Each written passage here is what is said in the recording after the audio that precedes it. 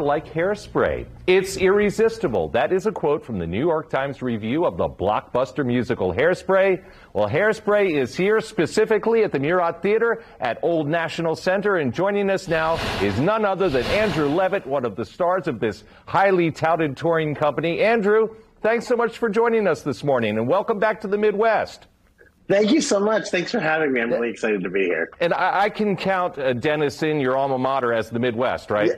Yeah, yeah, it's right in Ohio. I mean, we're right next door. um, so, so how how did the Indy opening go last night? It was incredible. We have uh, we're so lucky to come to Indianapolis and have these incredible audiences. Everyone around the country knows that when you come to Indianapolis, how loved and enveloped you are by the community. And last night was just this wonderful opening. So we're really excited to be here this week. So you play Edna Turnblad. Tell us a little bit, little bit about how, your character and how that character fits into the big story. Yeah, so Hairspray is a story of Tracy Turnblad, who is a 16 year old girl who just wants to dance on the Corny Collins show. Um, and uh, we are at a time of 1962 in Baltimore where uh, we're in uh, you know huge, uh, big conversations about race and about integration. And Tracy just wants to dance on the show. Um, and I play her mother, who uh, is uh, an agoraphobe who has been locked in her home because she's so ashamed of her own personal size and weight. And um, we get to see Edna come into her own throughout this show and throughout this story of celebration and uh, community and acceptance. Now, and you're well prepared for this role. You have an extensive resume uh, doing drag, including your alter ego, Nina West. Um, yeah. I, I want to give you a second to talk about the Nina West Foundation because I think this is important. Yeah, so so I'm, I'm from Columbus, Ohio, and uh, I grew up uh, in a Midwestern community, much like Indianapolis. Uh, really embraced and surrounded by my community, and taught that we're only as strong and as good as we are to one another.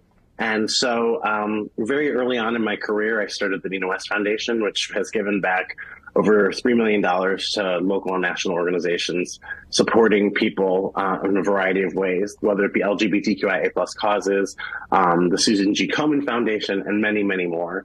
Um, but I truly believe that we are, again, like I said, only as good as um, uh, as we are to one another. And um, so so that's what we really work on with the foundation, and that's uh, what we try to do is to give back and to share kindness and to share love and uh, acceptance and and and I think growth for one another in the community. Now, I suspect people that, that do drag shows that's got to be a pretty small fraternity. So I'm going to throw you a curveball here. Okay. Um, I went to high school with a guy named Dave Palandrani, and Dave is Aquaria's father. Uh, yeah, and, I know Aquaria. Yeah, so uh, Mama Aquaria it, wanted to send a message to you that she is very proud of your success. So I've done my duty now. Mama Aquaria, Dave Palandrani, and Aquaria all sending their best to you.